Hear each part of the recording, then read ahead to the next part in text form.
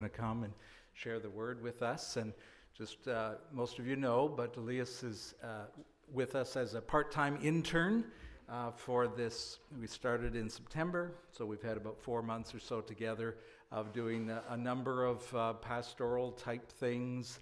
Uh, probably one of my favorite uh, things that I've enjoyed thus far working with Elias is the times of prayer that we spend together uh, just uh, lifting up our church family and, and various things that way. And so it's been sweet. But uh, this morning we get to hear from the word. And so, Elias, would you come and share?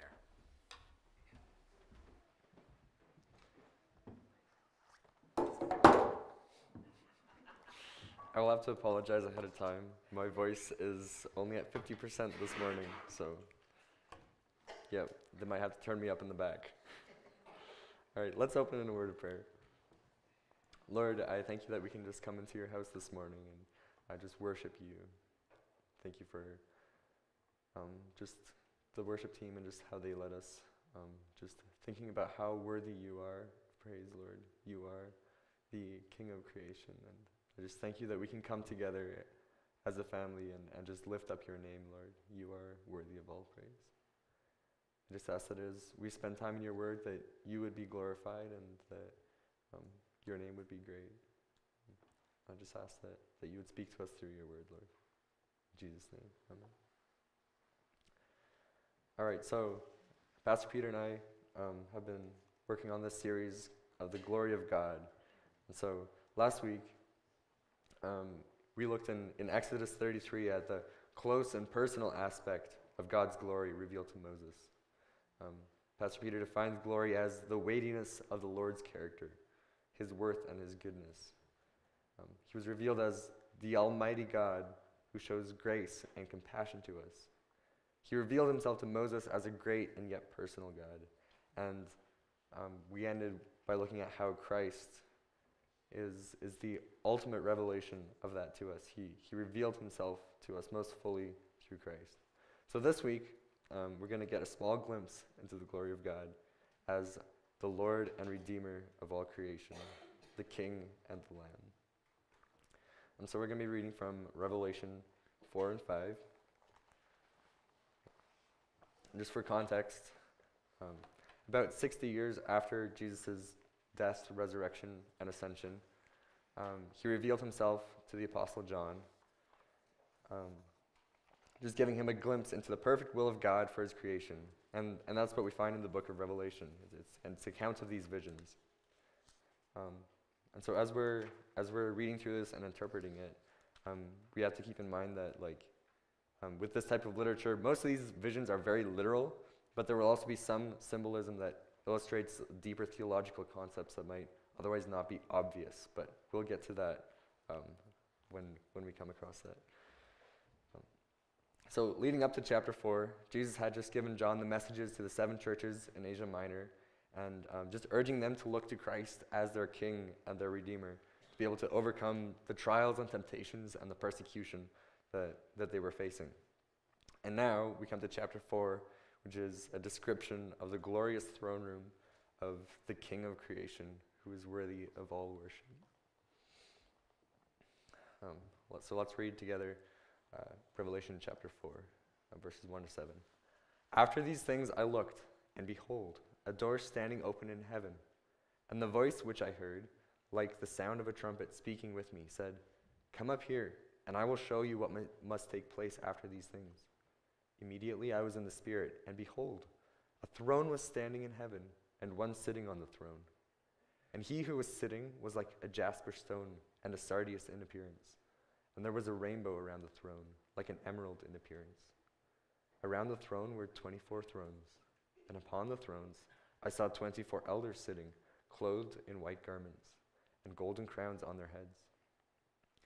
Out from the throne came flashes of lightning, and sounds and peals of thunder.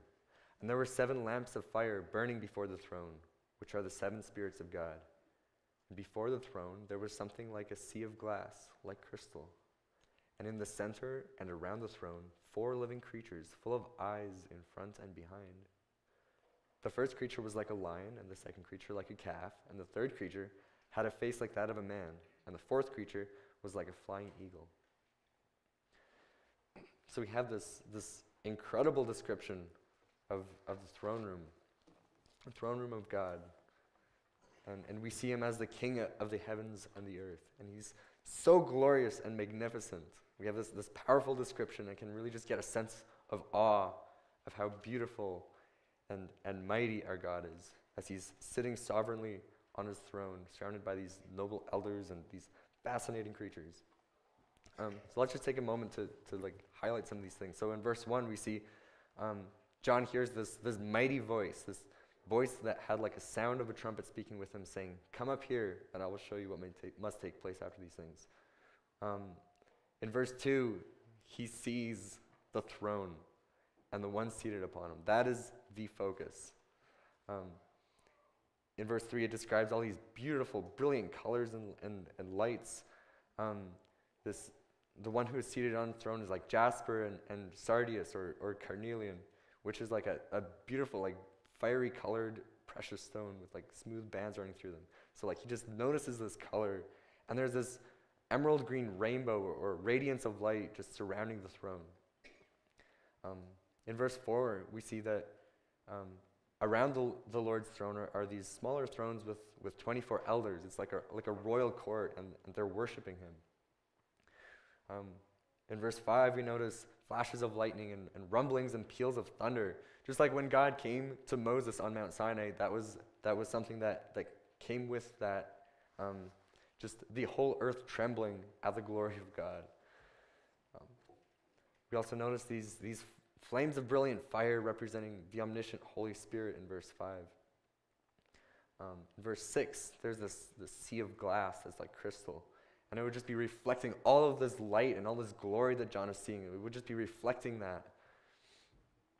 And then we see these, these fascinating creatures who are, who are constantly before the throne worshiping God. Um, and we could spend all morning just being in awe of this scene and just filled with wonder.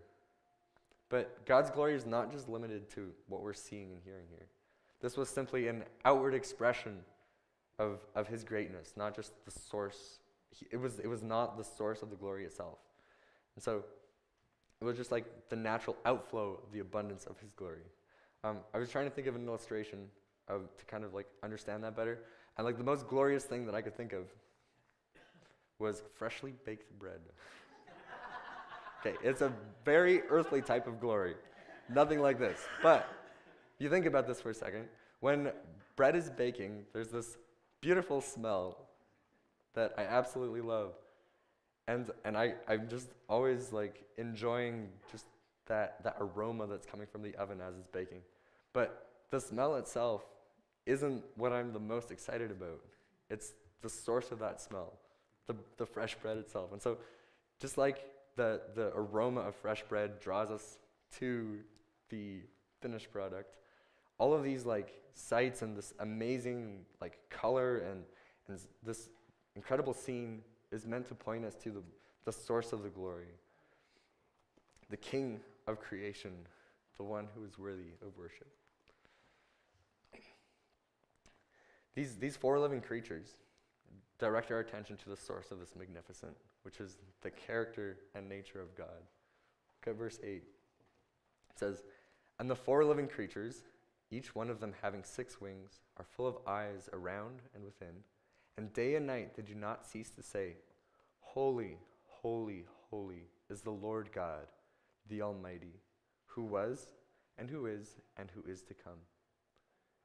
And when the living creatures give glory and honor and thanks to him who sits on the throne, to him who lives forever and ever, the 24 elders will fall down before him who sits on the throne and will worship him who lives forever and ever.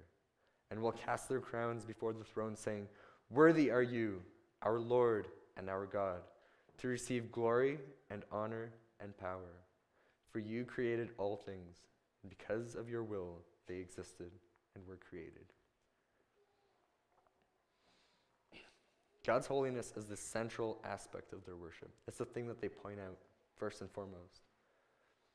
He is above all. He is pure and divinely set apart. Notice how they say, Holy, holy, holy is the Lord God, the Almighty. Um, in, in Semitic languages, when, when a word is repeated like this, it's, it's intensifying um, the degree of, of that word that's being used. And so using it three times in a row is, is really emphasizing how holy is, is the Lord. He is the perfection of holiness. Um, he is pure, perfect, and divine. He is high and set apart from anything else. He is holy. He is the Almighty God who was and who is and who is to come. He is infinite, unchanging, eternal. He's sovereign. He's outside of all boundaries like time and space. He is the holy Lord God, the Almighty, who was and is and is to come. The past and present and future all are revolving around Him. And He is the Almighty King over everything. And so that's what, that's what this, this worship in the throne room is, is focused around, is how great this, this King is. And notice how when they give glory to him and honor and thanks, verse 9, which, which we're told that they're doing unceasingly, continually before the throne. Then the elders fall down and worship. They cast their golden crowns before the throne because they know that only the Lord is worthy of that kind of honor. He is so much greater than anything or anyone else. In verse 11, we see them saying that our Lord and our God is worthy to receive glory and honor and power. He is the creator of all things, the purpose of all things. Through his will, all things exist. The whole earth was created to point to God's glory. He is the glorious King of creation. That is who he is. So the sovereign and holy King of all creation is worthy of worship because of his glorious character. The sovereign and holy King of creation is worthy of all worship because of his glorious character, because of who he is. Isaiah 6 is another passage that, that describes um, just the Lord on his throne. And in it, Isaiah says, I saw the Lord sitting on a throne, lofty and exalted, with the train of his robe filling the temple. Seraphim stood above him. And these seraphim are, are then described in a very similar way as, as the four living beasts here. Um, and one of them cried out, or called out to another, and said, Holy, holy, holy is the Lord of hosts. The whole earth is full of his glory. And the foundations of the thresholds trembled at the voice of him who called out, while the temple was filling with smoke. This is who our God is. The sovereign and holy King of all creation is worthy of worship because of his glorious character. This takes us to chapter 5. And not only do we see God as the holy King of creation, but also as the redeeming Lamb who is worthy of worship. So 5 verse 1 says, I saw in the right hand of him who sat on the throne a book written inside and on the back, sealed up with seven seals. And I saw a strong angel proclaiming with a loud voice, Who is worthy to open the book and to break its seals? And no one in heaven or on earth or under the earth was able to open the book or to look into it. Then I began to weep greatly because no one was found worthy to open the book or to look into it. John is greatly weeping, or some translations say loudly weeping, because there's no one who is worthy. What is the significance of this scroll? What, what is the big deal? Well, we find out in, in the later chapters that this scroll contains the directions for the fulfillment of God's plan for creation. These are his directions for performing his holy justice on his creation. And so, who is worthy of opening this except the heir of creation himself? And no one met that title. No one could fill that role as the heir. And so John is greatly weeping. But look at what verse 5 says. And one of the elders said to me, Stop weeping. Behold, the lion that is from the tribe of Judah, the root of David, has overcome so as to open the book and its seven seals. The Lion of Judah is worthy. This, this reference, the Lion of Judah, comes from Genesis 49, verses 9 to 12, which is um, Jacob giving a blessing to his sons. And, and in that blessing was this prophecy that the Lion of Judah would come, a descendant of Judah, who would be a, a sovereign king. And so Israel has been waiting for this, this king for several thousand years. Um, and then we see uh, the root of David. This is a reference back to the Davidic covenant, where God promises that from David's line there would be an everlasting ruler who would always be on the throne. Um, Isaiah 11 also talks about the root of Jesse, which is David's father, um, and speaks of this everlasting and righteous ruler. So, this is the one who is worthy of opening the book. So, John looks now to see this lion of Judah, this, this king that is the root of David. What does he see? Well, verse 6 says, And I saw between the throne, this literally in the midst of the throne, and the four living creatures, and the elders, a lamb standing as if slain, having seven horns and seven eyes, which are the seven spirits of God sent out into all the earth. He sees a lamb, the humble king slain for us. Um, I, I missed Sunday school this morning, but I appreciated what Andrew shared just of, of how in like Philippians, that's, that's how Christ is presented as he, he humbled himself to, the, to become part of his creation and, and to be obedient to the point of death. John here sees Jesus Christ, the Son of the Most High, the heir of creation. Um, here's where we see some of this, this symbolism in, in the imagery um, where Christ is portrayed as the lamb having seven horns. Um, and um, a horn represented power and strength. Um, throughout prophecy and, and, the Old Testament, just in, in the writings, we see that uh, come up quite often. Uh, so the, the horn represents power and strength. And there's seven of these. Seven is the number representing like, like fullness and perfection, completion. And so here we see the lamb as perfect in power and strength. And then the seven eyes represent his perfect omniscience. And, and that's, uh, we're told here that these are the seven spirits of God in verse 6, sent out into all the earth. Um, so, so we see Christ's perfect omniscience there.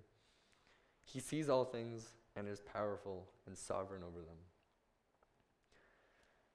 Now, verses 7 to 10 read And he came and took the book out of the right hand of him who sat on the throne.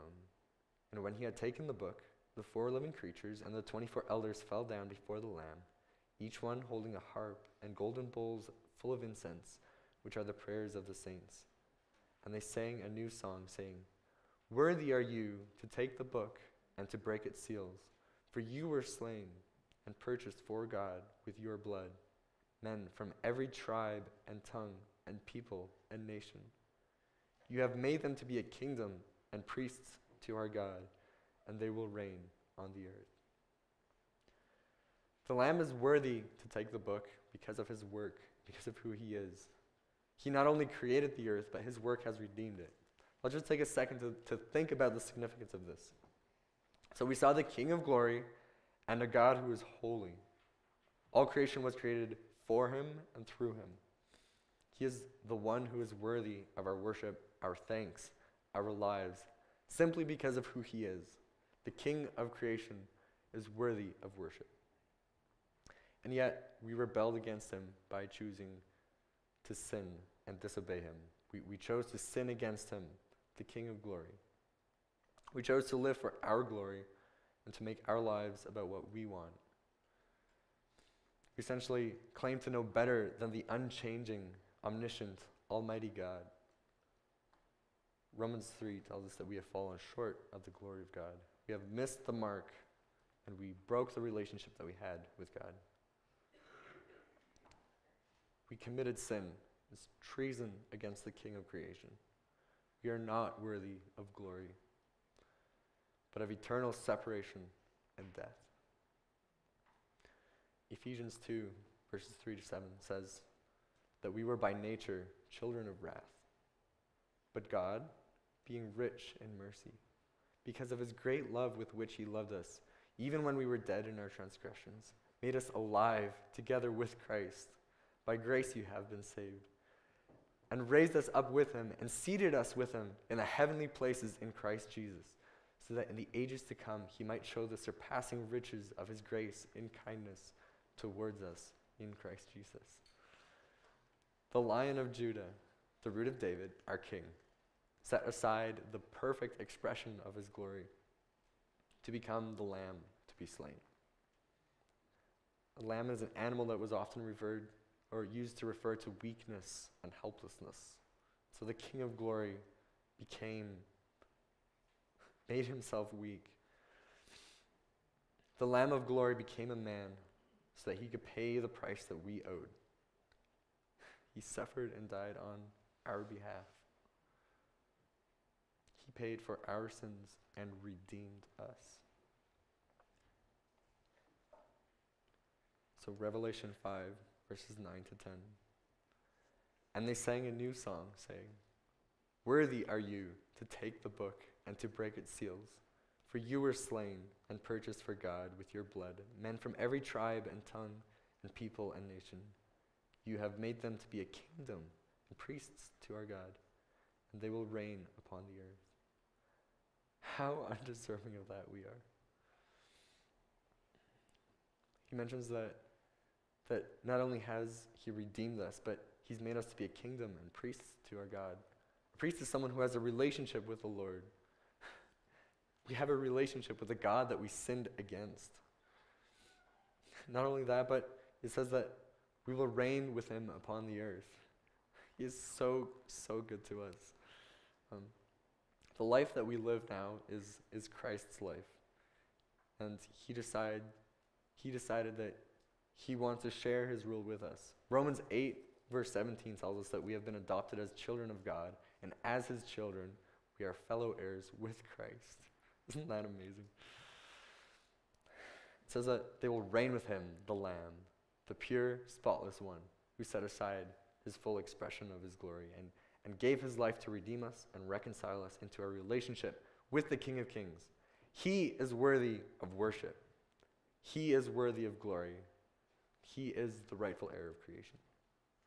The Lamb of glory is worthy of all worship and power because he is the creator and redeemer of all. In Colossians 1 16 to 20 says, he is the invisible, He's the image of the invisible God, the firstborn of all creation. For by him all things were created, both in heavens and on earth, visible and invisible, whether thrones or dominions or rulers or authorities, all things have been created through him and for him. He is before all things, and in him all things hold together. He is also the head of the body, of the church. And he is the beginning, the firstborn from the dead, so that he himself will come to have first place in everything. For it was the Father's good pleasure for the fullness to dwell in him, and through him to reconcile all things to himself, having made peace through the blood of his cross. Through him, I say, whether things on earth or things in heaven. So the creator, the king of creation is worthy of all worship because of who he is, and the redeeming lamb is worthy of all worship because of what he has done. And this takes us to the pinnacle of the worship that we see in this passage. Revelation 5 verses 11 to 12. It says, "Then I looked and I heard the voice of many angels around the throne, and the living creatures and the elders and the number of them was myriads of myriads and thousands of thousands. It's just an unimaginable number. Saying with a loud voice, Worthy is the Lamb that was slain to receive power and riches and wisdom and might and honor and glory and blessing. And every created thing which is in heaven and on the earth and under the earth and on the sea and all things in them, I heard saying, to him who sits on the throne and to the Lamb be blessing and honor and glory and dominion forever and ever. The four living creatures kept saying, Amen, and the elders fell down and worshipped. We see, first of all, the entire heavenly realm has declared the redeeming Lamb as the sovereign King of glory. And then, joining with them, with all of heaven, We have all of creation, every created thing. It says, which is in heaven and on the earth and under the earth and on the sea and all things in them. He's talking about literally everything.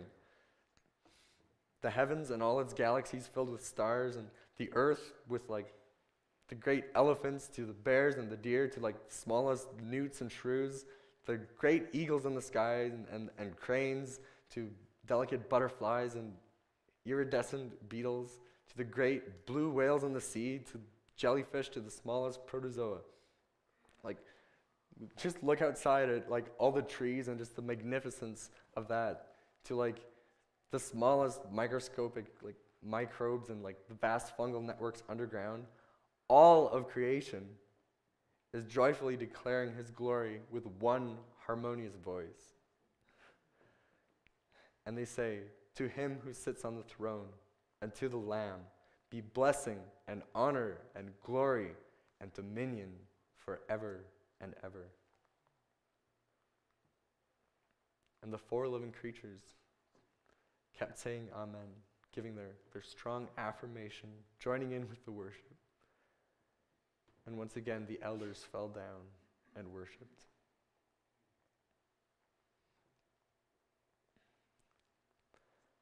All creation exists for our Lord. It's all about Him. He is the King of creation, the redeeming Lamb, the Almighty God of glory. He is worthy of all worship. So all creation will declare His glory. This is how they're worshiping. What are we doing? As a redeemed child of God, does my life declare His glory? Does my life point to how great God is? Or am I still trying to show the world how great I am?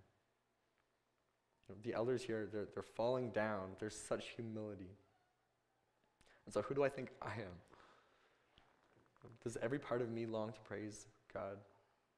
And as the earth beneath me and the, the air that I'm breathing is declaring Christ as king, am I really going to try to be the king of my own life? Like, I do that almost every day. I, I want to live for myself and do what I want because I want to get what I think I deserve. And because we're still sinners, we will not set aside our own futile glory, except for when we are in absolute awe of God's true glory. And so let's remind each other of that. Just all glory belongs to the King and to the Lamb. So in closing, I'm going to read Romans 11, verse 33 to 12, verse 2. I would encourage you this week to go and, and read through that, all of chapter 12. And there's just some great application in there. Um, Romans 11, starting in verse 33. It says, Oh, the depth of the riches, both of the wisdom and knowledge of God. How unsearchable are his judgments and unfathomable his ways. For who has known the mind of the Lord? Or who became his counselor? Or who has first given to him that it might be paid back to him again? For from him and through him and to him are all things. To him be the glory forever. Amen. Therefore, I urge you, brethren, by the mercies of God, to present your bodies a living and holy sacrifice, acceptable to God, which is your spiritual service of worship. Do not be conformed to this world, but be transformed by the renewing of your mind, so that you may prove what the will of God is, that which is good and acceptable and perfect. So, as God's redeemed children, let's live holy lives, set apart for our King and for the Lamb. Let us live for His glory. Let us worship Him with every breath that we have. And let us look to Him as our King. Let us resist temptation of sin because our God is worthy of our whole being, all of our worship. Let our lives declare the glory of our King and of the Lamb. The King of creation and the redeeming Lamb is worthy of all worship. Let's close in prayer. Lord, we come before you just with humility and just with wonder of who you are, God. You are worthy of all glory. God, thank you for redeeming us Thank you for humbling yourself and just coming to live among us so that you could die in our place, God, that you could pay for, for the, the sins that we committed against you. Lord, thank you that we can have new life in you and that we can have a relationship with you. We are so unworthy of that. God, I ask that you would help us to bring you glory with every aspect of our lives, God. That there would be nothing in our lives that we would hold on to for the purpose of, of magnifying ourselves, Lord. Only you are worthy of, of worship, God. And so I just ask that that you would help us to to deny ourselves, to die to self, God, and to live for you, to live holy lives for you, God. May you be glorified through us, Lord. In Jesus' name I pray. Amen.